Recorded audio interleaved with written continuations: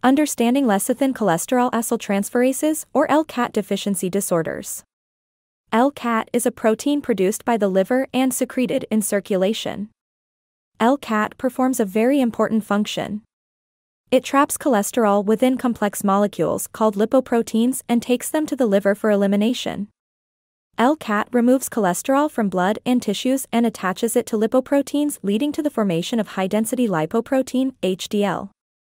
By doing so LCAT aids in maturation of larger, spherical HDLs.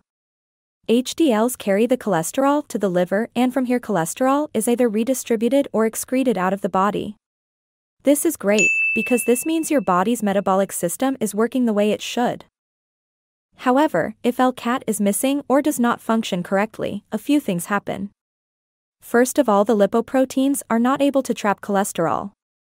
They do not mature into large spheres and so remain discoid in shape.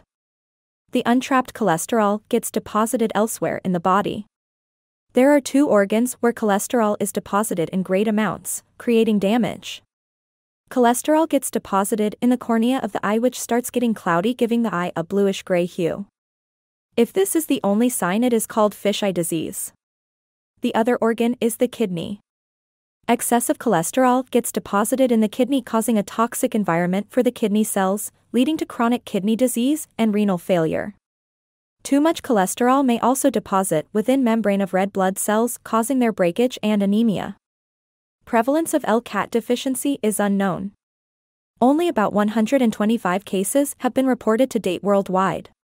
If you are interested to know more about this condition, please contact Dr. Marina Cuchel Research Associate Professor of Medicine, who is doing extensive research on LCAT deficiency at the University of Pennsylvania.